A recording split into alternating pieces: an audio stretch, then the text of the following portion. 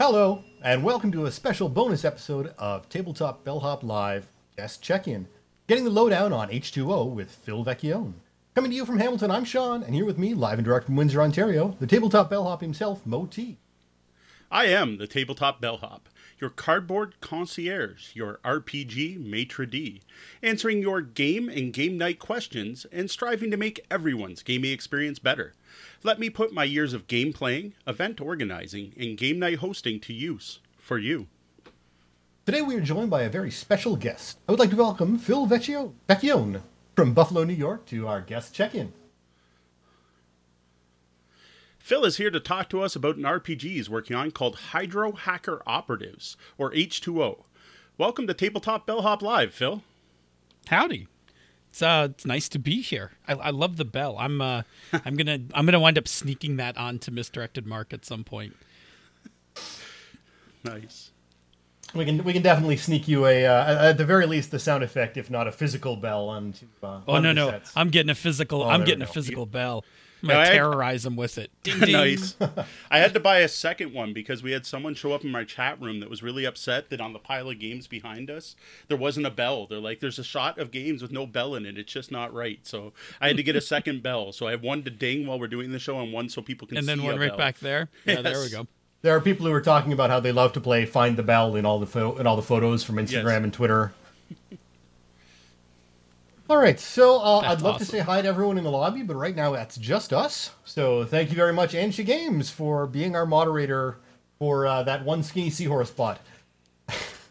yes. Welcome all you bots. Commander Root, I'm sure you'll be here later. And while it's Thursday today, you can normally join us here live every Wednesday night at 9.30 p.m. Eastern at twitch.tv slash tabletop bellhop. And now Tabletop Gaming Weekly, where we look back and summarize what's happened since we were last here. What games hit the bellhop's tabletop? Every week, I like to take a look back at the games we played, any events we attended, and other cool gaming stuff going on. I think this segment is fantastic for letting our listeners know what kind of games we are into and what we're currently excited about. Now, the thing is, I just did this yesterday on yesterday's episode, so everyone already knows what's going on with me. So, what I want to know is what games hit your tabletop this week, Phil? Yeah, this is so. This will be a um. This will this will actually be a longer list because I was kind of like on a bender for like the last uh, like last six days. So um, it was all RPGs, but I started last Thursday uh, on a six day run of games. So I Wow. played. Uh, so I ran uh, some Fate Accelerated um, on Thursday night for my Thursday night game group, and um, that is my um, that's a setting that I'm working on with a couple people called Long Live the Queen. Uh, so uh, we were playing, we were kind of test driving plus just playing that. Um, so that was cool. And then um, over the weekend was Gauntlet Con. So uh, the Gauntlet uh, RPG community had their online convention. Uh, so I ran a bunch of games for that. So I ran uh, two sessions of Hydro Hackers on Friday and Sunday, and I ran some uh, Turning Point on um, Saturday evening. And uh, that's a another game that I'm uh, that I'm developing, co-developing um, with my co-host from uh, Pandas Talk Games, Senda. Nice. And then Monday uh, on Pandas Talk Games, we did an AP of uh, Dungeon World with the Legacy Weapon, Okay. which is a one-on-one, uh, which is one-on-one uh, supplement I wrote for playing Dungeon World. And then Tuesday, uh, and you guys were there for that. Uh, we played some Numenera that was mostly serious until Chris kind of ruined it. All right. So that's So, what, yeah. how many games are you developing right now? Is that two or three? Oh, it's uh well, Hydro Hackers technically isn't done, so that's one. Uh, Long Live the Queen, Turning Point, uh, Legacy Weapon I wrote a while ago, so that's okay, done. so that's old. That- All right. that's done. That's old and out. Um, so that one's done. Uh, yeah, that's like yeah, it's like three. There's like three in the hopper right now. Like one's like Turning Point's almost well. Hydro Hackers is out in Ashcan. Mm-hmm. Turning Point is nearly done, and um, we're gonna start writing the manuscript um, in November. And Long Live the Queen is like on the beginning of its journey, so it's more like a 2020. Um, it's more like a 2020 release. Like it's just Okay. starting to get played now and kind of tinkered with. Excellent. All right. So now you talk So- about running games at the uh, at Gauntlet Con. Do you do you get to play games at these cons? Do you even try to play games at cons anymore? Uh, I I did. Um, so it depends on the con. So for Gauntlet Con, um, because it like I was home and like my life was mixed into being online, uh, I just played in one game uh, on Saturday morning, and then like uh, when I go to other cons, so like you if you like you saw me at Queen City Conquest, and I was I ran like all the games um, there because that's my home convention. Like people are, it's basically people come into my house. So I just Right. like I'm gonna host and I'll run a bunch of games. But when I go to other cons, I absolutely play um, other games. I love actually playing um, other games when I uh, like. I always book a day where I don't uh, don't run games and I don't do seminars, and then I just go gaming. Awesome. Excellent. All right, based on the other list of what you just played, I do have to ask. I know we'll get to the interview part later. Do you play anyone else's games or just your own? Uh, yeah, I know that's so bad. No, I actually do play. I actually do play and run other games. So, um, I just so my Long Live the Queen game. That group, uh, we had just finished playing um Dungeon Crawl Classics. Okay.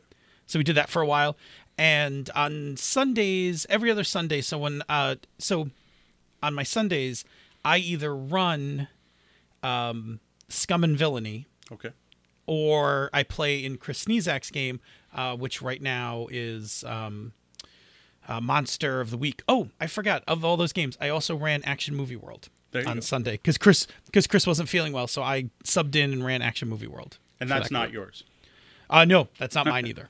No, I actually do love actually playing other people's games. I love other people's games. Uh, it's just that um, it, for cons, like I always have to run like to Well- promote the company. I've always got to run some of my own stuff. Uh, but personally, like at home, I actually like to not run my stuff most of the Okay. time. Fair? Now, when it comes to uh, to games playing or running, uh, do you stick exclusively to uh, independent games these days, or do you still dabble in some uh, some mainstream stuff? I would say it's pretty much mostly um, it's pretty much m- more indie style games. I'm not playing um, like I haven't played Dungeons and Dragons in a while. Um, I played for a little while when it first came out, and uh, but yeah, most of my time's mostly like mostly indie games. Right. Yeah. DCC is kind of a mix. That's that's almost trad, almost indie, kind of walking that line. Yeah, I, I mean, I actually really liked. I actually really liked DCC. D, I, I liked it way better than I thought I would. I kind of at first did it on a lark. I was like, I'm buying this giant ass book and all these crazy dice. Um, and uh, I mean, I got it right. Like it's it's meant to evoke that old, like it's meant to evoke that feeling when you're a kid, right? Like it gives you even weirder dice than you're used to Yes. right? So like, I, you totally feel like you're a kid again because you're like, I don't know dice. which one's the 24, like, Yep. you know. So yeah, but actually, once we started playing it, like when we we played a couple of uh, modules of it, I was like, wow, this is actually like a really like this is a really smart version Cool. of D20. Yeah, I had a lot of respect for it by the time we finished playing it. That's awesome. Yeah, I backed the fourth edition Kickstarter, so I've got the big shiny book with the gilded edges and the, Oh the yeah, page, uh, whatever you call them, bookmarks built into it and everything. I've read it. I just haven't had a chance to get a group together to play it yet. I, I absolutely, I absolutely for DCC recommend um, getting their modules. Like Yeah, I've got their, a pile. So Yeah, their modules are so good. nice. Now, each episode, we look to answer one of your one or more of your gaming or game night questions. You can send your questions questions at tabletopbellhop.com, or you can head over to the webpage tabletopbellhop.com and click on Ask the Bellhop.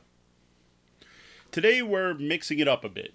That's right. Instead of answering your questions, we're the ones going to be answering the asking the questions of Phil. The main thing we're here to talk about is uh, this new game called Hydro Hacker Operatives, or H2O. I was actually covering up all your faces with my own copy uh, version of it, so I have the stream. So we go. I have the stream, so I win. Uh, nice. but let's let's start off with the most basic question. Now that we've all flashed our uh, flashed our various copies of the uh, game around, what the most basic question? What is H two O? Sure. So, uh, Hydro Hacker Operatives, or H2O for short, or Hydro Hackers, which is really, from a branding perspective, a bad idea to have that many names for your game. But anyway, um, Hydro Hackers is a uh, tabletop role playing game. It's a powered by the Apocalypse game. And uh, the premise of the game is that you play hydropunk Robin Hoods stealing water from corporations to keep your neighborhood alive. Nice. Nice. Okay. Now, one question I want to get out of the way: Did H2O, which is hydro hacker operatives, not necessarily water, come? Did it? Where did the? Where did that come from? Did you did you say I need to have H2O and this is how I'm going to make the name fit, or did you throw the H2O on after you you'd named it? No, so I definitely wanted the game to be called H2O because um, all of the um, when I first started writing it, all of the uh, the directory that it was in was just called H2O, and um, I didn't know anything else because it was just the water game for a little while. Is this that And, plumbing uh, game? yeah, yeah. Is it the is this the plumbing game? Yeah, I'll, uh, we can talk about that in a bit. Um, so yeah, it was for a while. It was just called the water game, and I just like I, for shorthand, obviously just called it H two O. And then we were sitting around one night, and a friend of mine, Dave Mondello, um, who was like really good with naming stuff, like he just like all of a sudden he was like Hydro Hacker Operatives, and we were all like, holy, like like we all like started clapping, and it was like, okay, well that's the name of the game now. we. Nice. Nice. So I own the ash can of Hydro Hacker Operatives, this right here.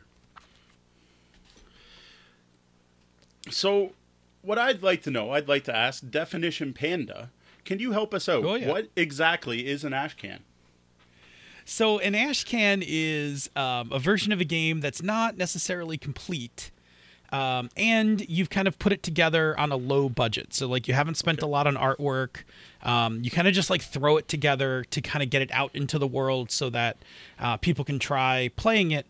Um, and you make it um, price wise um, pretty low price to make it accessible. Like you really like the goal is to get it out and have people experiencing it.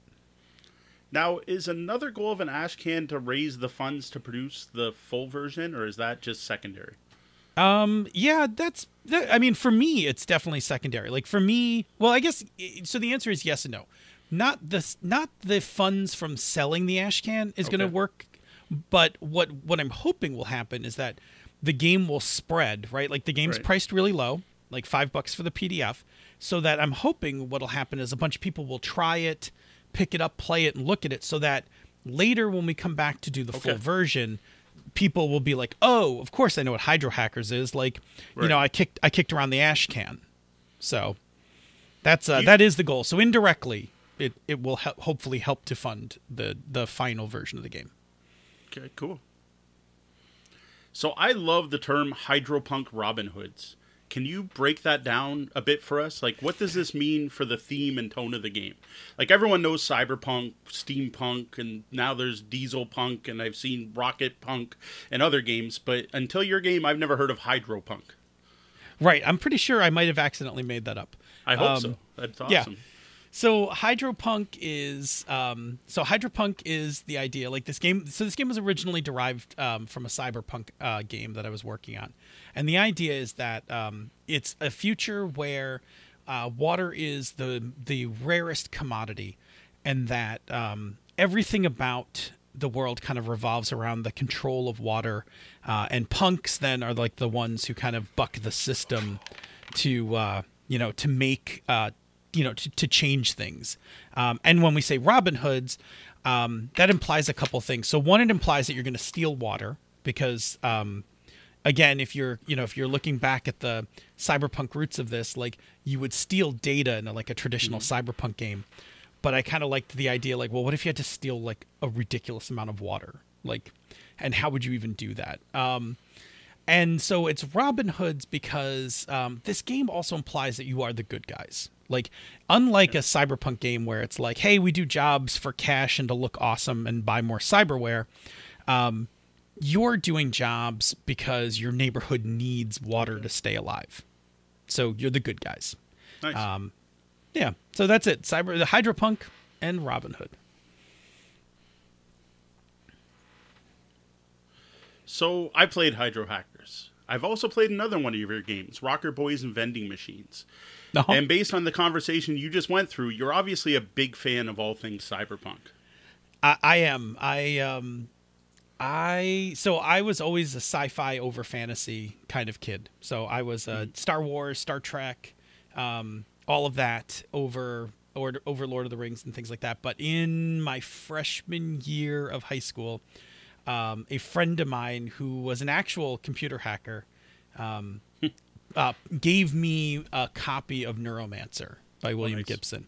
And like that was it. Like I read Neuromancer and I then was like totally um, caught up in all like the entire that entire literary movement for a while. Like I just loved um, Sterling and Gibson and like all of those guys. And so uh, I played a ton of um, Cyberpunk uh, 2013, the box set, and 2020, the um, I played a ton of that. I tried to play Shadowrun, but um, I always just went back to playing Cyberpunk. Like I liked the mechanics a lot more um, in Cyberpunk. So yeah, I like I, I've always had a love.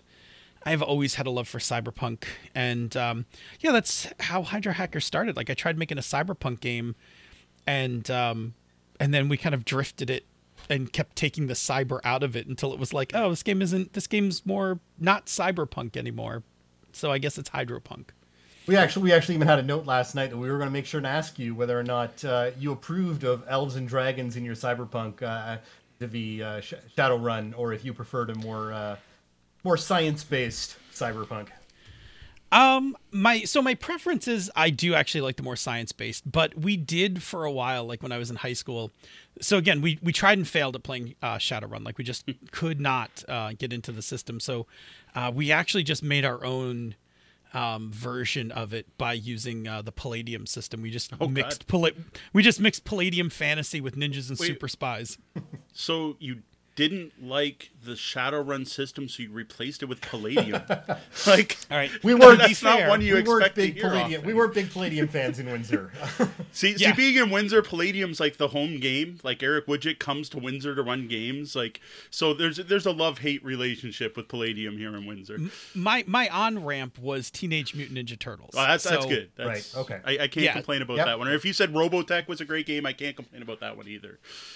I mean, I, I actually drew the line. Um, so we I, I played Palladium Fantasy, I played Heroes Unlimited, Wow. um, Ninjas and Super Spies, Beyond the Supernatural, Robotech, and then like we tried playing Rifts, and like that was for me that was Too the far. moment where I like jumped the shark, far, and I was like. I can't Yep. do like I can't do this. Like I, I don't understand. Like and I know there's tons of Rifts fans, but like I I just I like I couldn't make the final Yep. the final leap on board. No, I understand I- completely. Uh, when you're talking about uh, the fiction you like, I mean, obviously you mentioned Gibson and Sterling. Um, do you go into uh, like a Neal Stephenson, Rudy Rucker, Cory Doctorow? Uh yeah, like I I'm Cory Doctorow's awesome. Um uh yeah, Neil I I mean I love, you know, I mean I love me some Snow Crash, right? Snow for me, like I love Snow Crash, but Snow Crash is also somewhat of a satire on uh on Yep. cyberpunk. So uh while I like it, I mean I also like it's a it's a little more tongue in cheek. Yep. Um, Uh I like uh, Morgan. So I, I, I love Richard K. Morgan. Um so Altered Carbon. yep.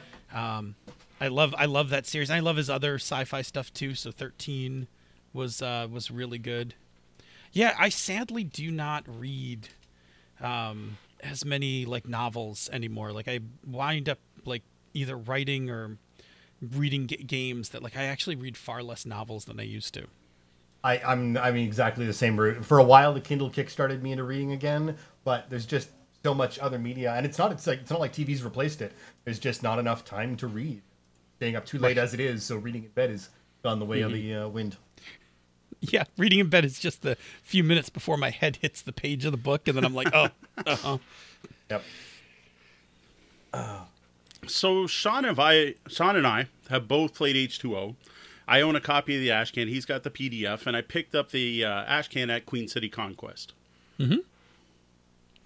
So, and Queen City Conquest, for those people who may not have caught our uh, our special episode, was a great con in Buffalo, New York. It happens annually. Uh, next year, it's going to be happening in July, uh, and we strongly recommend it. Uh, it's on our uh, to do list. Uh, we're we're Yes. hoping the uh, we're hoping it's the new the new dates aren't going to be too problematic because we're getting into uh, post Origins time there, but hopefully. Yeah. Plus, my daughter's birthday's in July, so I'm hoping it's not near the beginning of July. Would definitely like to make it back down there. That was a fantastic con. Yeah, I, I mean, I love, uh, I love, I love QCC. It's uh, my home con. Um, a lot of people that I'm really good friends with, and several. Uh, I think at least half of the organizers are in in one or more of my game groups. um, so yeah, I, I love it. I, I'm. I was a little sad to see it move from September to July because September was like this really nice, like like done with Origins, kind of Yeah. recover and bam, like QCC. But I also know that it's going to like um, the reason it's moving is because it's going to go to a new v- venue Right. that wasn't going to be available at that time, and the new venue is like really cool, and I believe it's going to be like less expensive. So Fair enough. So let's get into some of the specifics about the mechanics in Hydro Hackers. So here at Tabletop Bellhop, we want to be a resource for new gamers as well as longtime players. And we tend to focus more on the board game side of tabletop gaming, though we do talk about both, obviously. So, for our fans who probably have no idea what you're talking about when you say it's powered by the apocalypse, could you get into what that means?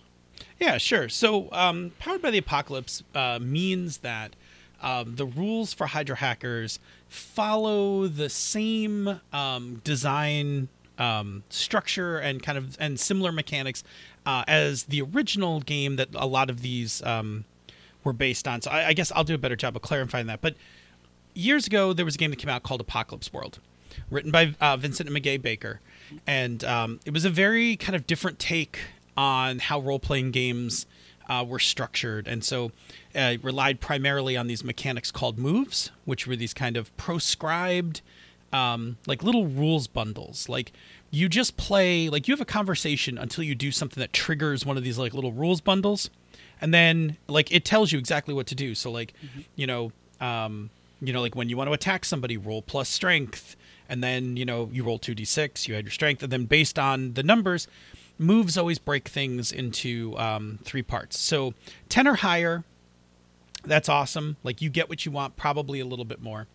Seven to nine, you get what you want, but probably but at a cost. So usually there's something that comes like a, a little bad that goes with it, and at a six minus, um, the GM decides what happens, which doesn't necessarily mean you fail, but it means that the GM has their own fixed list of things that they can do, and uh, they kind of pick one that's uh, that fits the um, that fits what's going on in the game, and uh, makes that happen. So anyway, Apocalypse World comes out, and a whole bunch of people start using that same model for building more games. So Apocalypse World leads to Dungeon World, which is probably the uh, sometimes more popular in recognition than Apocalypse World is. Um, but then they become like a series of these games, and it's been going on now for a couple of years. Um, I say a couple. I think it's probably like five or six years now, right? Um, where designers are basically um, using that same structure, and I say same structure because like when you write in a powered by the apocalypse game, it's not so much a core system like uh, 5e or Fate or anything, but it's more like a design aesthetic. Like I'm gonna have moves, I'm gonna have principles and agendas, uh, but I have to go kind of make all those myself. Okay. So I've been listening to you, Chris, and Bob on Misdirected Mark for many years now. And through these years, I've heard you try, move through, sometimes get past many different game systems. And there's always the hot system of the moment with you guys. And for a long time, that was Fate. And I'm just wondering what made you choose Powered by the Apocalypse and not Fate, say, for Hydro Hackers? So the funny part is the original version of Hydro Hackers was written in Fate. Um, so what happened was um, I started developing the game in Fate, uh, and the Ashcan doesn't have it in there, but I have this um, subsystem for hacking water, which is actually very board game ish. Um, uh, it involves cards and it involves like a, a whole bunch of things. And I was running it in a I was running it at Gen Con in Fate and the table like i look at the table in the middle of the game and i've got all my cards for the hydro hack stuff and then i've got like fate aspects written all over the table and fate tokens all over the place and i'm like holy like this game's a beast to run like there's so much stuff going on here uh, and that's where i was like oh i should really consider that that this game may be suited to a better um, to a different system. I shouldn't say better system. It would be better better suited for a different system. And the other thing that um, that powered by the apocalypse does is it gives you a little more control on tuning the tone of the game because Fate games in general um, are a little more uh, up They're a little more, you know, because your players are dramatic, uh, competent uh, players, and so uh, I wanted something slightly grittier.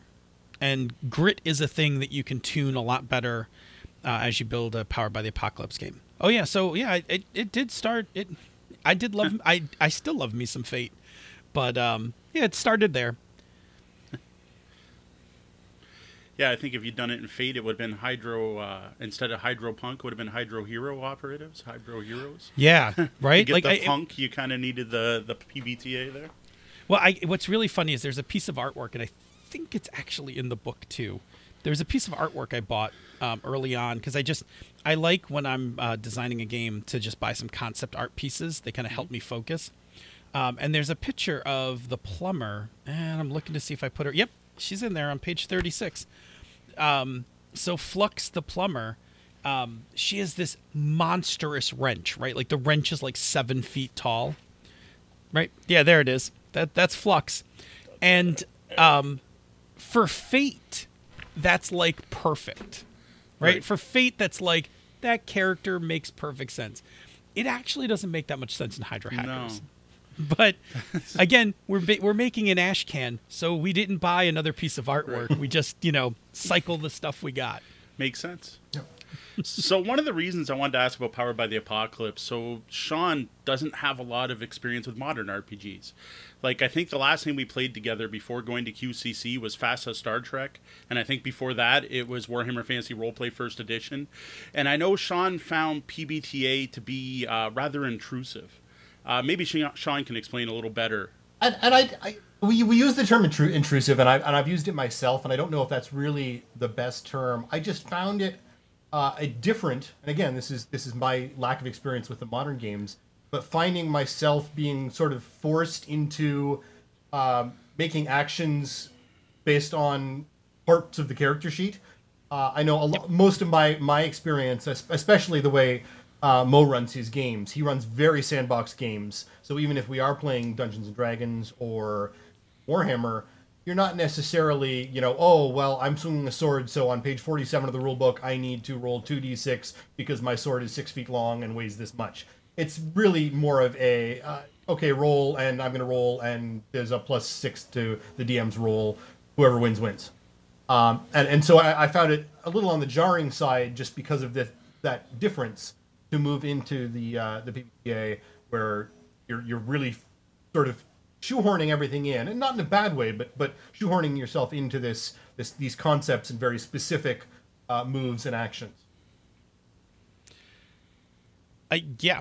I uh, I can speak directly to this. Um, so the feeling that you're having is something that we talk about on Misdirected Mark, um, where we talk about levels of the game.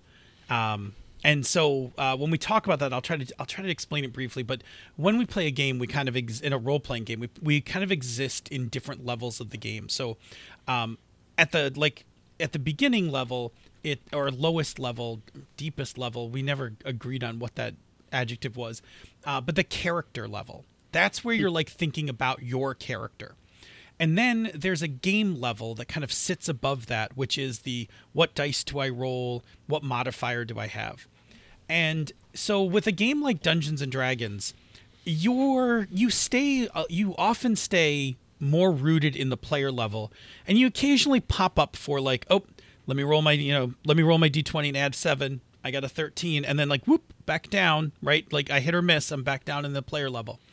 But powered by the apocalypse games have um, they kind of push some of the work that normally like a GM would do onto the players. Like so, for instance, um, on a seven to nine roll, uh, oftentimes you're asked to pick something uh, that goes wrong, right? And that's normally something that in a more traditional or an older role playing game would be pushed off to the GM.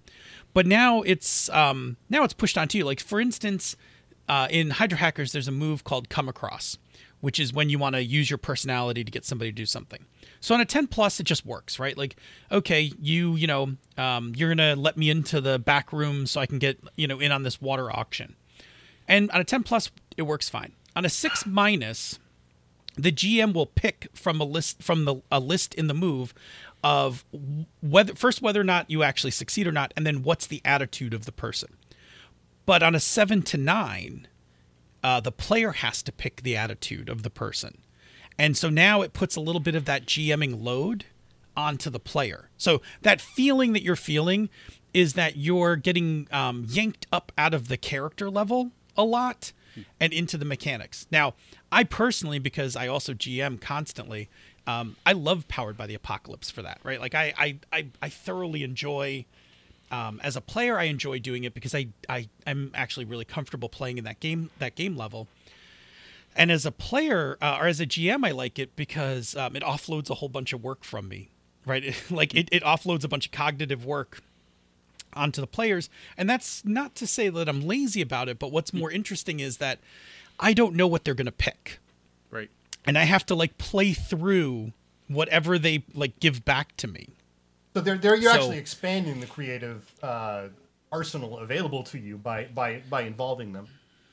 Yeah, absolutely. But yeah, so the, but the payoff for that is um, that because each person becomes at times like their own little GM, um, you uh, when you're playing it, it feels different from playing something uh, like like you said, like it feels different than playing like Warhammer um, First Edition, which by the way is so awesome. Like what a That was my Like- game for Yeah. years. Yeah. That's what I ran every rat- Saturday, six rat hours. catchers, rat catchers forever, Rat man. catcher Yeah. with a three-legged dog. Yep. So yeah. So but th- but that's that feeling is is is the is the popping up out of out of level is out of the levels. Fascinating. Now, So for you- anyone listening Oh, at home, for anyone listening at home, you really guys really have to check out Phil's show, Misdirected Mark, Phil, Chris, and Bob. They talk about this kind of stuff all the time. This is basically what their show's about: is diving into the design, mechanics, and theory of games. Like everything Phil just said is like one part of an episode, and probably multiple episodes where they talk about different levels and pillars of role playing. Fascinating show if you're into role playing games at all. Now, I was wondering, based on your description, what I and and the the people that you play with, I know uh, who I who I've now met from QCC with um, the gang on on Tuesdays and Senda. Do you feel, or would you say that possibly PBTA is uh, more of a GM's game? Because I mean, I, I think pretty much almost everyone you play with GMs as well. Yeah, I mean, I think it's um, I I would say it's either it's either a GM's game or it's um, I would sometimes Chris likes to call them as like uh, writer writers room games where like we're all taken apart in kind of you know coming up with the story. Sense? So I've personally gotten to play H2O two and a half times. Um, once was a story you called Broken Main. Uh, The other was called Coming Up Short. Uh, Sean played Coming Up Short as well. Uh, I also signed up for a game at Origins, which I was going to get to try the ha- Hydro hack itself, but that unfortunately didn't pan out. I did get to see it, we just didn't play through it. Right. Now, the one thing with all these games I played, Sean's played, uh, it's been at cons, and they're all one shots. And most of the time, when you're talking about running H2O, it's at Gauntlet Con or it's at QCC. It's all been one shots. Now, I own the game and I've read it, and the game very much seems to be written to be a long term campaign game and not a one shot. Uh, yeah, that, that's actually right. So, Um, what is the difference? Like, what, what, so what, what have we missed? I guess is a is a way to ask the question. So, having played it at cons, I got to see part of it.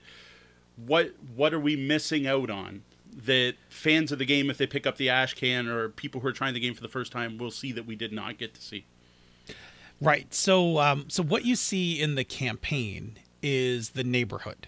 Um, it's the part that really um, take like you can't express it in a one shot. So, uh, in a one shot, you know, I always write the one shots to be like, there's a problem in the neighborhood, go fix the problem in the neighborhood. Um, which which is great, but the idea is that um, in the ash can, and there's a whole chapter dedicated to this. After you've made your characters, there's um, a playbook. So that's what um, that's what the characters are called, i- like in Hydro Hackers uh, or in Powered by the Apocalypse games, the playbooks, right? So after you've made your characters, there's a separate playbook to make your neighborhood, and uh, you make your neighborhood from the ground up. Like you decide where it is, uh, you decide what to call it, um, and then it leads you through. Like you just follow through the sheet, and it tells you like uh, what it asks you like what kind of neighborhood is this. So like maybe your neighborhood is uh, a sunset neighborhood, which means like it was once great, but like now like times kind of moved on. Uh, you also pick some tags. So like, is your Um, is your architecture eclectic? Is your city dirt? Like, is your neighborhood dirty? Um, is it friendly? Is it um, is it friendly? Is it insular? Those kinds of things. And then there's some moves, like the um, the neighborhood has a move that it grants to the players that usually helps the players out. Like there's one called rummage sale. Like if you're looking for if you're looking for gear or equipment, you can go to the neighborhood and see if they have it for you. Like you, you can just go through the neighborhood and somebody will be like, "Oh no, I got one of those. Like it's back in the back room. Here, go ahead and borrow it." Cool. And so then the rest of so what happens is in a campaign, after you have played a story, so essentially like the, the one shot, after you've played the story, um, there's a whole bunch of things that go on in the neighborhood, uh, and the neighborhood has its own stats, and those stats are kind of um, propped up with these water tanks, and at the end of each story, uh, the water tanks start to drain a little. And you get a little bit of water, but you don't get actually enough water to keep everything at the status quo. So you kind of run around spinning plates, and it, it so now it gets into like a little bit like power grid right? Like a simple like it's a simple version nice. of power grid right? Because it's a resource management thing. Like you only have so much water and these things are ticking down and I'm, i need to put some water here. And uh, we would like to start a you know what's called a um, uh, you want to advance the neighborhood like you want it to be better. Mm-hmm. so you can start these projects um, these renovations that actually make the neighborhood better but they require more water. And so ultimately what happens in the campaign is that when you want to improve the neighborhood, you have to go steal more water. Because the the water authority, the group that controls water, will never give you enough to prosper. They'll just give you enough to string you along. So when you want to prosper, the players have to kind of kick into action and go steal some more water. Okay. And that's where local 666 comes in. yes. The Devil's Plumbers. So we, we haven't actually mentioned that yet. Um, who exactly is the Water Authority? Obviously, they're the, the bad guys. If we're the Robin Hoods, they're the the Sheriff of Nottingham. Yeah. So, uh, so this game is U.S. centric, right? Uh, for now, I will say I will also for Canadian listeners, I will explain the Canadian version uh, in a moment. But um, the game is the game defaults to playing in the U.S. and the Water Authority is the corporate um, agency slash corporation that uh, the U.S. government has that controls uh, the protection and flow of water. So they make sure that the citizens get water, um, but they also then police water to make sure that um, that no one's stealing it, that no one's trying to rip each other off, um, or more importantly, that um, the rich people who pay more to get better water, um, that they are not um, infringed upon. Mm because uh, and I usually say this. I think you both you've both heard it if you've heard me intro the game. But the water, water authority is the worst combination of a government agency, a cable company, and a software company yeah. rolled up into one. yeah. Um, so yeah, they're pretty awful. Now, I, I, will say when when this game goes to Kickstarter, that Jason Pitre has offered to write uh, the Canadian version, the Canadian setting. Nice. Um, and I'm trying to remember. I try to say it correctly so that all my Canadian friends will understand. So his pitch to me was that water will be like healthcare.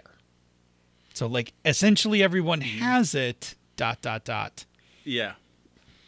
Okay, so you that guys makes get perfect that. sense. Yep, okay. Yep, we get it. we get it. It's good. So on this interview, you mentioned it. Um, I've heard you also note in other uh, on other interviews and uh, live when we were playing that the water authority in your game is not the empire. It's they're unstoppable there it's a true distor- dystopia the and one that the players aren't meant to fix. Mm-hmm. how do you discourage the star wars mentality the group of players that gets this game and it's like oh all i want to do is overthrow the water authority. Yeah i feel like at some point i'll be pressured into writing a supplement but um but in the game um so in the so there's a couple things. Uh first of all um, first of all, the authorities' stats in the book are kind of like they're not ridiculous, but they're not good. Like you are not encouraged to get into a gunfight with the um, enforcement officers, which are like the shock troopers. Like you, every um, even in the setting material, like this, the guy, like the character who's writing the setting material, just tells you to like run, like just run for your, you know, like just run when you see them. Um, so yeah, so they are. Um, they're made to be that oppressive. And so then the other thing that the game does subtly is that it keeps all the action in the neighborhood. So um, you can have your minor victory, right? Like you could torch the water authority offices in your neighborhood. I mean, there'll be consequences, but like if you want to strike that like sl- that small blow for victory, um, it's possible. But yeah, the scope of the game is not about um, overthrowing the. Um, it's not yeah. So you're not supposed to blow up the Death Star. You are. Um, you're Right, supposed yeah. to make sure your neighborhood ekes out its survival. Okay. I gotta admit, I love it. Like we were talking about Warhammer Fantasy Roleplay, and the thing that always loved about Warhammer Fantasy Roleplay is I loved that Warhammer was not about winning; it was about surviving the next day. The main core feeling in Warhammer is chaos will win. Everyone is corrupt. You just need to get by, and you all you care is the small victory. I stopped this cultist today and now I get to eat tomorrow, or we get to live more likely, or my family gets to live. I love that about Warhammer. I like the the feeling of the little guys fighting back, just trying to strive. So that is something that directly drew me to Hydro Hackers when I first heard about it. No, th- I mean, thank you. Like that was, I mean, I've had that feeling too. Like I, I like grittier games, and I really like the idea. Like, um, you know, we're gonna we're gonna struggle, and we're gonna like bear, like we're gonna have a close call or whatever. And what it really just means is like everybody in the neighborhood will just be a little better tonight. Yeah, that's and that, awesome. Yeah, I, and I love that, and I, and I, I really felt that, and that's why I ended, I ended up going with that barbershop character I did uh, in the Conic QC. You know, I, I, I had that. Um, I don't know, maybe I was channeling my inner uh, Iron, uh, or not Iron Fist, uh, Luke Cage. Uh, but I just wanted, I wanted that, you know, little barbershop where people could go and feel safe for a few minutes, even if when they walked out, back outside, it was doom and gloom, and and they were going to, you know, be affected horribly, they could at least have a, a quiet place to uh, to calm down and, and be at peace for a bit. Luke Cage was definitely an influence. Like the um in the first season, the episode where like Luke Cage cleans up the neighborhood, you know, when he's like doing all those like like that was very Watch? Yeah, like that was yeah, the neighborhood watch playbook is uh basically Luke Cage. Yeah. Nice. Speaking of So I actu- influences, I, I gotta know, just based on the on the rough concept, how many times have you watched Solar Babies? Not in like forever, right? Like there are like right. two things that people always ask me: Solar Babies and Tank Girl. Right. And like I think I saw Tank Girl once in the 90s. Oh, and the other one they always ask me is The Water Knife. Um I which I one. I started reading. It's a sci-fi book, um, and once I started reading it, I was like, I stopped reading it immediately. Like I, I started reading the book, and then I was like, oh god, there's like a lot of things that are a lot like about like they track really closely to the game.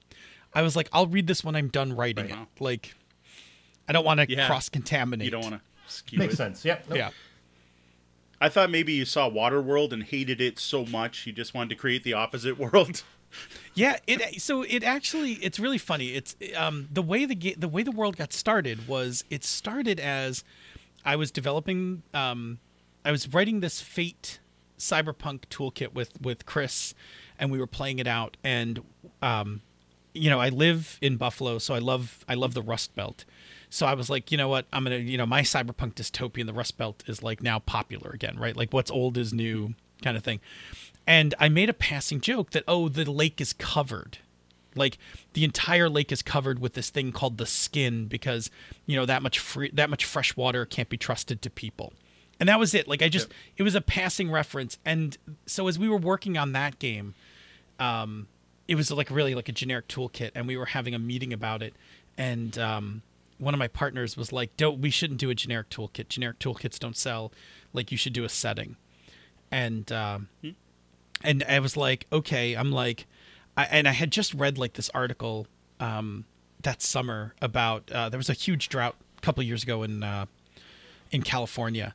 And I, I'm sure, and I know there's Canadian versions of the story, but I'll tell I'll tell the American one. There's huge drought in um, uh, in California, and uh, there was a company I'll I won't name names, but there was a company that like was pumping their water aquifers to fill their bottled water, and they were like, "Well, yeah, it's a drought, but like you know we had it, we got to sell our bottled water." Like, and they just like, you know, they didn't stop production, and you know, Yeah. I had a kind of strong feeling about you know privatization of water, like giving water rights to corporations, because you know that seems like a terrible idea, and that was it. Like, so I brought it up to my partners, and they were like, "You should make that into a setting," and I was like, "Really? Like, you think that's a setting?" And like, we started messing around with it, and lo and behold, like, it's a setting. Yeah, there's So a there's a company in Ontario that is pumping uh, at uh, five hundred and thirty two dollars per million liters. Right. Right. So it sounds like this has been in the works for a long time. How long have you been working on Hydro Hackers? Uh, so when it came out at, so when the book came out at Queen City Conquest, that was two years. Okay. So it was two years, and I ran the first play test of the Powered by the Apocalypse version at Queen City Conquest 2016. Cool. And now from so you're two years two years to get your ash can out. When are you looking at? I'm assuming it's a Kickstarter release. When are you looking at that? Yeah, uh, so I'm taking a little break to write Turning Point. Um, so Senda and I are working on Turning Point, and I, I wanted to get that moving. So I think sometime summer or fall, I'll finish up what's left on the ash can, and uh, we'll start putting the Kickstarter together. So back to the ash can. I finished reading my copy yesterday. Uh, one thing stuck out that I thought needed some clarification. So in the section it says GMing Hydro Hacker operatives, you discuss the core loop of H2O. There's something that you'll hear all the time on the Misdirected Mark show. Uh, one of the things you noted was that the core loop is different from the full game, but you never actually explain what the difference is. So first off, I really dig the concept of a core loop. Like I like that. I, that's that's good terminology. We'll put it that way. Uh, I'd like you to clarify core loops, and second, what is the core loop going to look like in the full version of the game? Sure. So the core loop of a game, um, and this can be the core loop of a role-playing game. It can be a core loop of a board game, um, but it's the set of activities that kind of basically encapsulate like one cycle of the game. So um, in a role-playing game, like if we're if we're gonna look at like Dungeons and Dragons, like the core loop of Dungeons and Dragons is like go to a dungeon, murder a bunch of stuff, take all their stuff, go back to town, level up, right? Like eh, that. Now everybody plays it differently, but if I mean, Yeah. if you really distill the experience, um, a lot of Dungeons and Dragons follows that core loop. So, um, and I had just heard that um, we had heard that phrase um, uh, from an, another game designer and, and latched right onto it. So I was very hot onto this idea, and uh, and and so um, in Hydro Hackers, I'm gonna I'm just gonna flip to the book to see exactly what I said about the core loop, how I described it um, in the ash can. I, I'll tell you what the difference is. The difference has everything to do with um, the missing Hydro hack mechanic. So it says um, in let's see, uh, the core loop is that the neighborhood faces some problems. Characters attempt to solve the problem. Um, the neighborhood is the um, center of the character's world, right? So um, basically, what it means is like there'll be a problem in, in the ash can. There's a problem in the neighborhood, and then you're gonna fix the problem in the neighborhood, and you're gonna do like the end of neighborhood stuff, and then there'll be a new problem. In the full game, with the subsystem for hydro hacking, um, that subsystem is a thing that you engage like every four to five stories. Like you'll do a bunch of other stuff, and then when you need like a big score of water, uh, you'll go and like you'll set up and do a big water heist, um, and that's what those mechanics cover. They they cover the setup of the heist, um, and as well as the actual heist itself. Um, and that's the um, that's kind of the missing piece. And in the GMing section, we talk about like how to kind of get around that in the meantime. Um, but the um, it's the it's the, like the final piece that kind of clicks into that because you'll be like, well, we solved some problems, but then every like four or five sessions, we're gonna go do a big job, So and then we'll come back to the neighborhood. Would it be uh, just sort of trying to try and uh, classify it? Would you looking at sort of you're running a uh, a Luke Cage series, uh, but every once in a while you need to do a little Ocean's Eleven action. Yeah, yeah, like that, like the defenders, right? Like the defenders show up like you know once You got to you once got to a pull in blue and, and go, then big, go away. go big or go home every once in a while. Exactly. Yeah. Yeah, it's good. So the other thing the hydro track is driven by, as far as I can tell, too, is actually improving the neighborhood, right? So the core loop now would be fix problems, but by throwing that in, you get more into the whole leveling up the neighborhood, to use the the trad term. Right. Yeah, there's definitely um so there's so it much much the same way as characters advance, uh, the neighborhood advances. It's just the mechanism is a little different. So characters advance by getting um, a certain amount of XP, and then they can unlock an advancement. In Hydro Hackers, what you do is you uh, commit to a project, and to do a project, you create um, basically it's basically a countdown clock. It's a water tank, and you put six units of water in it. Um, and that's not a trivial amount. You put six units of water in it, and um, at the end of each story, there's a move that you do to see how far the project progressed, and if it progresses, the water comes out of the tank, and when the tank empties, um, then your renovation, your advancement, goes into effect in the neighborhood. So yeah, it, it gives you a way to. Um, it gives you a way to kind of decide like like one of the advancements is that you can remove one of the negative tags from your neighborhood. So maybe your neighborhood is dirty and you're like you know what? We really like you know we're prospering. We would really like the neighborhood should be cleaner. And you would like come up with like what does the, that neighborhood project look like then you put the water in the tank and then at the end of each session or at the end of each story you're taking a little out and when it's done you get to cross that tag off Cool. and now your neighborhood's no longer dirty it like it's nice yeah Cool. Yeah, that aspect of the game I really want to try out here at home at some point. So you release this as a powered by the apocalypse game, and you're able to do that because Apocalypse World has uh, some form of open license. I can't remember exactly what it uses. Um, do you plan on doing something similar for Hydro Hackers? Is it going to be an open system? Yeah, it's interesting. Um, yeah, so so the way it works is that Powered by the Apocalypse isn't exactly. It's not a license like Fate or like Five E. Um, it's more like uh, you acknowledge that your game kind of uh, derives from Apocalypse World. Um, Okay. You send Vincent and Meguey an email and like ask them if is it okay if you put Powered by the Apocalypse on your game. Um, Right. and they're very generous, right? Like, um, and again, it's very much, it's not so much as you're copying rules as so much as you're um, following that same design philosophy. Um, so yeah, like I mean, to pay it forward, kind of thing. Like if somebody kind of looked at some of the mechanics that have come out of this game and were like, "Oh, awesome! Like I would love to do a version of like the sweat mechanic, but I want to do it with um, electrons because my game is set in cyberspace or something." Like, yeah, totally. Like, you know, just static. We'll call it static moves. You lose some Yeah. electrons. That'd be pretty cool. yeah. Oh, see, yeah, there you go. Now we're More playing. so, what um, I was wondering though is, would other people be able to write stuff for Hydro hackers? Uh, yeah. I mean, I haven't really thought about that part in terms of the IP aspect of it. Um, so I don't know yet. Um, it may be the kind of thing if somebody had some passion to do that, like you know, come find us at Encoded. Like, we probably would like to help you with that, and and help pay good. you for that. Yeah. All right. Uh, uh, that's pretty much everything I've got. Sean, do you have anything you want to ask? well, I know. First off, I'd like to say congrats on uh, getting the M- Mithril status on uh, DriveThruRPG today. Mithril, nice. Uh, yeah, they uh, apparently. I, I didn't realize this. Uh, Martin Martin Ralya, the publisher from uh, Engine, um, emailed me today. But um, quietly, uh, DriveThruRPG rolled out two new, um, two new. Um, you know, you know how like things were like yeah, like two new tiers of of um, sales.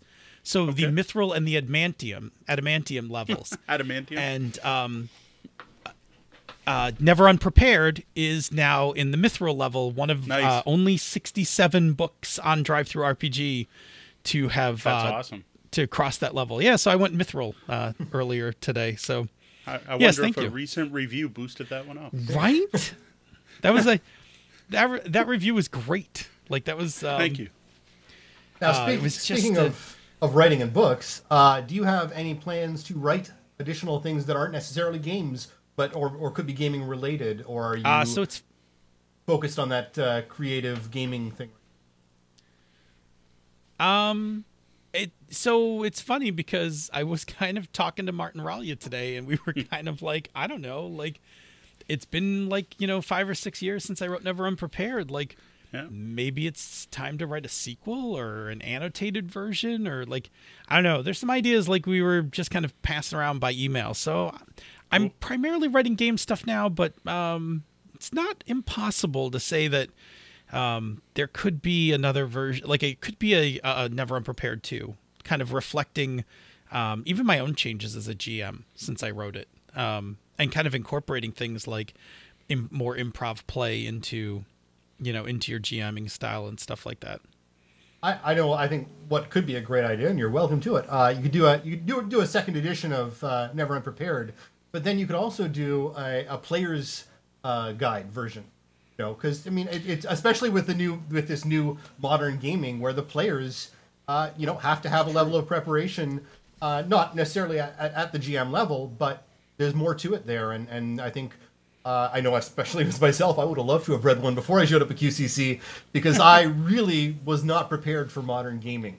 Um, I, I loved it and I enjoyed it, but it was a bit of a culture shock for me. You know, it's um, it's interesting because I, I, you know, Chris and I have talked about that. And Chris and I have talked about that as well. Like, there's there's tons of GMing advice, and then, like, I, I don't know, like players get a like the short straw on this. Like, I don't think they always get like quite as much advice about like how are how do you be a really awesome player? Like, what are the things you do? um because we i don't know we i think we tend to like take pity like oh the gm's got like a hundred I, always- I always say on my show the gm has eight different things they're doing at once um it's an arbitrary number i don't know really if it's 8 but um but you know i i we we we dish out a lot of advice to gms and not always the same like amount of advice to players and i play a lot so like i like I you know I agree. Like I think there's I think there's definitely space for a book on like how to like how to be like a real kick ass player. I know uh, some of our experiences at QCC, uh, people might have been able to, and, and, and cons are again, are, they're a different thing, a different uh, beast. But uh, there's definitely some players who could uh, boost and help in how to play a con game, even specifically. Um, I know I know there was one player who got upset with me because we were playing uh, Kids on Bikes, we were playing Loop, uh, Tales from the Loop, and uh, there was a moment where it was like, it was oh no, okay, so we all left our bikes directly where the cop is about to park his car, right? His lights are going to shine on the bikes as he. And the, the other player was upset that we were that I was giving away our, our location and, and, and you know making it easier for the police officer to find us. But I mean, like, no, that's that's an '80s film. I mean, that's that that fits so perfectly in the game. It had to be that way. Um, and it's just little, little bits like that where you know help out the help out the storyteller if they if they missed it or if you see that opportunity to make that setting more complete uh, in the style of game it is. Yeah, I, I agree. There's a there's definitely a skill of kind of knowing like um like it, it's a change in mindset. Like I, I mean I remember you know like playing in the 80s like I would never have done anything to help the GM on their on their side of the screen like solve your own problems buddy like we're getting away with this. Um, but in the games I play now like I absolutely am like you know oh it would make way more sense if like that fell out of the truck while we were driving away Yeah. right like y- yeah there's there is a there is a shift in, in in that kind of mindset where you're playing more to like well this is the this is the cooler story uh, versus like i'm a win yeah, there's, there's more, there's I was more definitely- shared storytelling. yeah i was i was definitely trying to win back in the 80s Oh yeah. and that mentality's still out there here and there. Yeah. But yeah yeah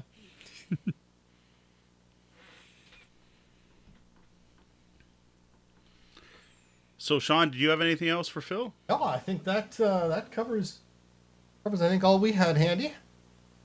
All right, Phil, is there anything you want to cover we haven't asked? uh no i think i think i'm good this was fantastic it was a great talk All right. Excellent.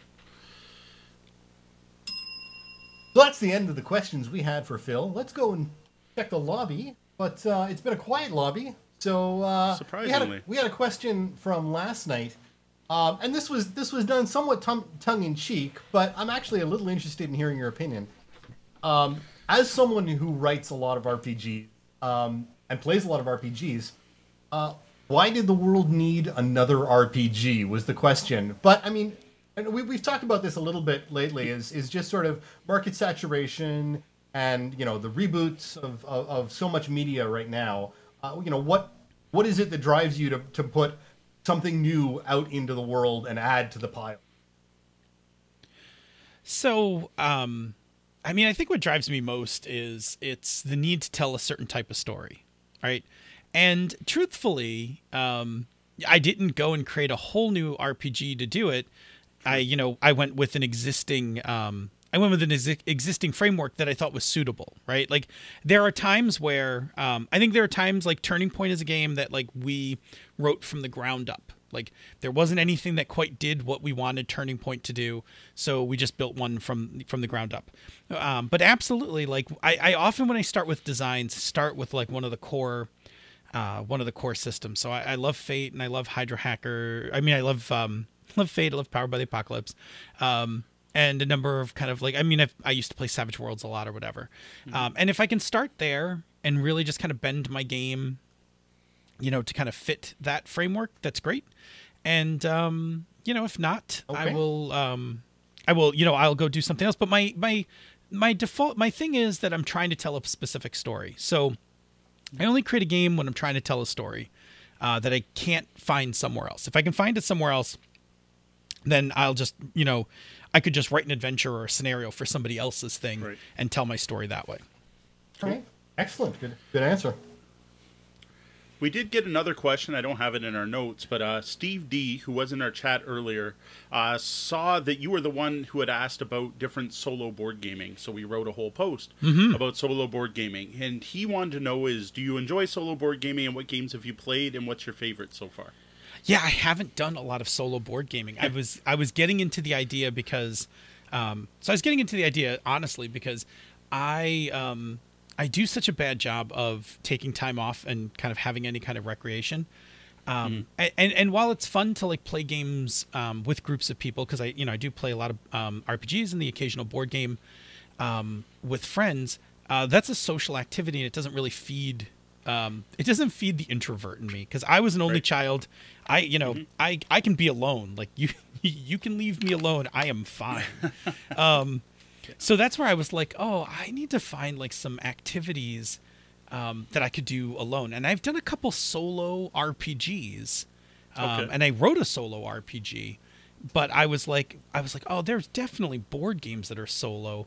Like mm-hmm. which, like which, which ones like those could be a lot of fun. Like that's a thing I could take to like a coffee house, you know, get a cup of coffee, mm-hmm. sit at a table, and just like with without having to entertain anyone else, without having to be put yep. on the spot. Like I can just sit there and just play the game and drink my coffee and kind of like you know kind of chill. Um, so yeah, that's kind of what sparked my interest. And I mean, cool. I figured if anyone would know, um, if anyone would know what solo board games I should be looking at, I would just have to come here. Well, if you're looking for a coffee shop, Gloomhaven is definitely not the go- the recommendation anymore. No, right? no, definitely not. I saw that box. That thing looks crazy. It's insane. It is huge. Thir- Thirty-two like pounds. Is that thirty-two pounds? Yeah, I think it's. I think it's averages thirty-two pounds. That's with the insert I put in mine. So where like does it, that? Where I worked, I wouldn't be allowed to lift that. That would be against regulations. I, I and I have it on a top shelf now. So. So where does it clock? Where does it clock weight wise to ogre? Uh it oh it's close. I have the Ogre Deluxe Edition. Of course I do. With um, with the lift uh with with the lift warning on it, right? Ogre Ogre's bigger and right. harder to handle. The weights are really close. Like I, I'd almost have to compare them. Ogre, I no, Ogre's a little heavier because I remember that when I got it, actually the local gamers bought me that as a gift. I showed up to a Christmas party. I host a, a WGR Windsor Gaming Resource Christmas party every year, and we had it at the Green Bean down downtown one year. And I showed up, and here's this big Ogre Deluxe box, and I'm like, "What's this?" And local game store owner came over. He's like, "It's for you," and I grabbed it, and here I'm not expecting. I went to lift it over my head, right? I'm like, "Oh look, everyone I got." I'm like, "Oh my god, that was a bad choice," right? And put it back down. I'm like, "Okay, I gotta go sit down for a bit. Why don't you guys play some?" Games while I rest my back. So yeah, I think Ogre might actually be a little heavier. There's definitely more uh, in Gloomhaven. Like Ogre's just bigger. Like there's the cardboard yeah, just, chits are nice big hexes, right? Right. There's a lot more counters and stuff in Gloomhaven. Oh, that's crazy. That's crazy. So yeah, we didn't get a lot of people in the lobby tonight. I didn't know it could have went either way because this isn't our regular night. Uh, just a note: we are hosted by four other people. If anyone is watching us on one of those hosted streams, just a heads up. I probably should have said this at the beginning of the show. We can't see your chat, so if you're in there chatting with each other, that's awesome. We just can't see it. So if you've been asking us questions and we missed them, that's why. Just know that you have to go to like the home feed to join in the home feed's chat room. Just uh, something I became aware of last night. Oh, and apparently Misdirected isn't hosting us tonight. I oh, went no? over there. They were earlier. oh, okay. Hmm. I don't know. I did a quick check because Grader was in the chat room, Ah, which is why I'm mentioning this. Okay. So I think that's about it. I we'll do so. one more ding. So, this was a great talk. Find more game gaming game night advice at tabletopbellhop.com. Send us your questions over on the website under Ask the Bellhop or email us at questions at tabletopbellhop.com. Now, if people want to know more about Hydro Hacker Operative or Phil Vecchione, where should they look? Uh, so you can always find me on Twitter at DNA Phil. Uh, you can uh, always find me on my two shows, The Misdirected Mark and Pandas Talking Games, and you can find Hydro Hacker Operatives at uh, DriveThruRPG in both um, PDF and in print on demand. And we can even find your book under Mithril, uh, the, the Mithril standing. Mithril status for Yes. uh, Never Unprepared. For Never Unprepared, that's correct. Well, that was the double bell. That means my shift is coming to an end, and we're going to have to lock the front doors. Though the doors to the lobby are closed, you can always find us across the web and social media. Tabletop Bellhop, one word. Drop by our website at tabletopbellhop.com for more gaming content. If you like the content we're providing and would like to support our efforts, please consider tipping the bellhop at patreon.com forward slash tabletop bellhop. Remember to join us here on Twitch every Wednesday night at 9.30 p.m. Eastern. Watch for the Tabletop Bellhop live to hit your podcatchers at 2 a.m. Yeah, on YouTube as well. Uh, Phil, is there anything, anything you'd like to uh, plug? Times, dates? Uh, you can always find me live on Twitch um, on Tuesdays at uh, 8:45 p.m. Eastern, 6:45 p.m. the Queen's time. Wondered if you're going to do that. Well, that about wraps up the time we have for the show tonight. For those of you here live, thank you for joining us. Now that he's officially checked in, I would also like to invite our special guest Phil, along with those of you here joining us live in the lobby, join us in the penthouse suite where we host our off the books after show. For tabletop Bell, for tabletop bellhop live, I'm Sean. And I'm Mo. I'm Phil. Thank you, and game on.